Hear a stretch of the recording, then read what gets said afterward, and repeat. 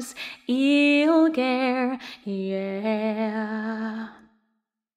One happy birthday dot com.